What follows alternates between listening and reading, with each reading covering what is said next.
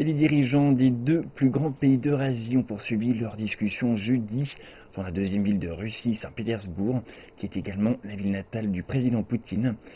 Les deux hommes ont commencé leur journée par un voyage sur la Neva, où ils ont admiré le paysage au fil de l'eau et où ils ont de nouveau convenu de promouvoir les échanges entre les peuples.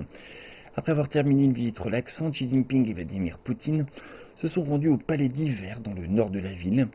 Les gens ont discuté des rôles stratégiques et régionaux de leurs pays respectifs dans un contexte international instable.